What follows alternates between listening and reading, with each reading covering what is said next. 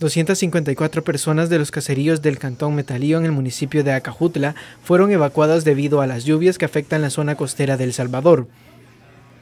Las familias evacuadas fueron llevadas al complejo educativo La Hacienda de Metalío, donde ya se encuentran siendo atendidos por personal del Ministerio de Salud.